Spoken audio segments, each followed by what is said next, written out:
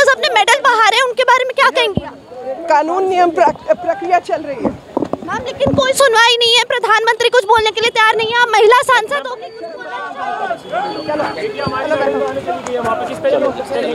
Ma'am महिला सांसद होकर आप कुछ बोल क्यों नहीं रही हैं इस मुद्दे पर?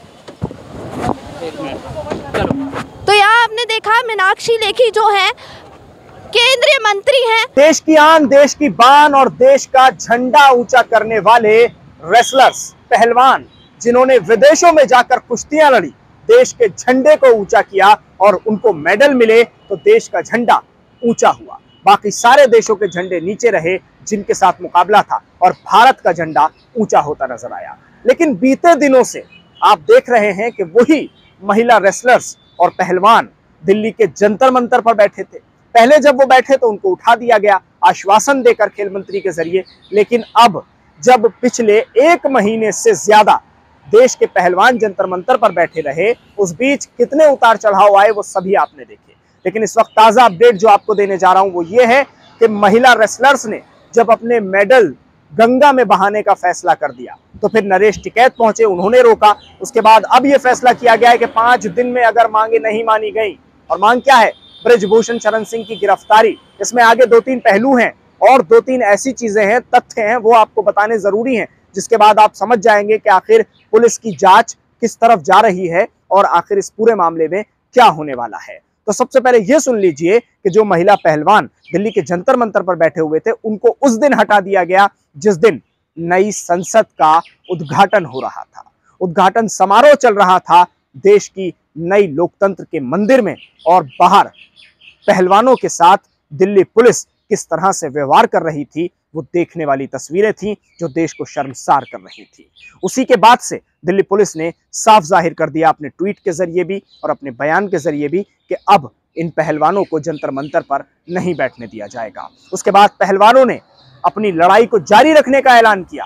कहा यह लड़ाई खत्म नहीं होगी, ब्रजभूषण शरण सिंह की गिरफ्तारी से नीचे बात नहीं बनेगी। उसके बाद महिला रेसलर्स पहलवान जो थी, उन्होंने गंगा जी में जाने का फैसला किया और वो मेडल्स जो उनको मिले थे, जो उनका सम्मान था, जो देश का सम्मान था, वो बहाने का फैसला किया। जारो कतार रोते नज़र आए, लेकिन सरकार के कानों पर जू रेंगती हुई किसी ने नहीं देखी। अब इस पूरे मामले में जो अपडेट है, वो आप ले लीजिए। खबरें सूत्रों के अनुसार ये आ रही हैं कि ब्रिजभूषण शरण सिंह, जो कि महिला रेसलर्स के, यौन शोषण के इल्ज़ाम में घिरे हैं, उनके ऊपर जो पॉक्सो की धारा लगी है, अब ऐसा लग रहा है कि कहीं ना कहीं वो धारा खत्म हो जाएगी। क्योंकि जिस महिला रेसलर्स की बात कही जा रही थी कि वो नाबालिग है, उसको बालिग बताया जा रहा है। ये सूत्रों के अनुसार खबरें सामने आ रही हैं। और वहीं दूसरी तरफ़, ब्रिजभूषण शरण सिंह की गिरफ्तारी की जो मांग है, वो तो पूरी होती नज़र नहीं आ रही है। लेकिन दंगे जैसी धाराएँ पहलवान रेसलर्स महिला रेसलर्स पर लगती हुई नज़र आई, जब उन्होंने प्रोटेस्ट किया, देश की संसद के बाहर जाने का फैसला किया और शांतिपूर्ण तरीके से अपना एहतजाज दर्ज कराने की बात कही। इस पूरे मामले में अफवाहें बहुत हैं। महिला पहलवान रेसलर्स के मामले में आपको तमाम खबरें नज़र आएँगी जो अफवाहों पर टिकी हुई हैं। लेकिन कल एक ऐसी वीडियो देखी गई जो पूरे देश ने देखी, जिसमें एक पत्रकार है, महिला पत्रकार है। उन्होंने मीनाक्षी लेखी, जो कि भारतीय जनता पार्टी से सांसद भी हैं, बीजेपी की बड़ी नेता हैं। उनको भागते भागते पकड़ने की कोशिश की, लेकिन मीनाक्षी लेखी उनके हाथ आई लेकिन इस महिला पत्रकार ने अपनी हिम्मत से, अपनी जाबाजी से पूरे रास्ते महिला पहलवानों के सवाल को लेकर मीनाक्षी लेखी का पीछा किया। बार बार मीनाक्षी लेखी से पूछा कि, मैडम, आप महिला पहलवानों पर क्यों नहीं बोल रही हैं? रेसलर्स पर क्यों नहीं बोल रही हैं? वो देश की आन है, देश की बान है, देश की शान है। प्रधानमंत्री मोदी क्यों नहीं बोल रहे हैं? आप ये सवाल समझ रहे हैं? कितनी हिम्मत का काम है? ये सवाल एक बीजेपी की इतनी बड़ी नेता से पूछ लेना। और सीधे प्रधानमंत्री नरेंद्र मोदी की खामोशी पर सवाल उठा देना।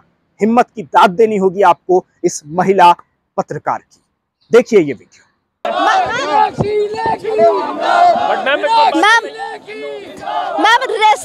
मैम रेसलर्स बैठे हैं, उनके लिए क्या कहना चाहेंगी? मैम रेसलर्स बैठे हैं, उनके लिए क्या कहेंगी? मैम मैम रेसलर्स अपने मेडल, मैम रेसलर्स अपने मेडल बहाने जा रहे हैं उनके बारे में क्या कहेंगे आप चलो चलो चलो मैम। रेसलर्स अपने मेडल बहा रहे हैं उनके बारे में क्या कहेंगी आप? कानून नियम प्रक्रिया चल रही है। मैम लेकिन कोई सुनवाई नहीं है। प्रधानमंत्री कुछ बोलने के लिए तैयार नहीं है। आप महिला सांसद हो? हैं। मैम महिला सांसद होकर आप कुछ बोल क्यों नहीं रही हैं? इस मुद्दे पर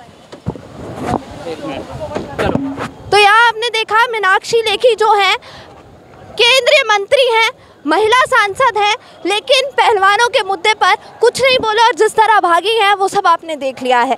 यहाँ पर तमाम भाषण उन्होंने दिया था। वहाँ से, मंदिर से यहाँ तक भागते हुए वो आई हैं और उनकी गाड़ी आप जाते हुए देख सकते हैं।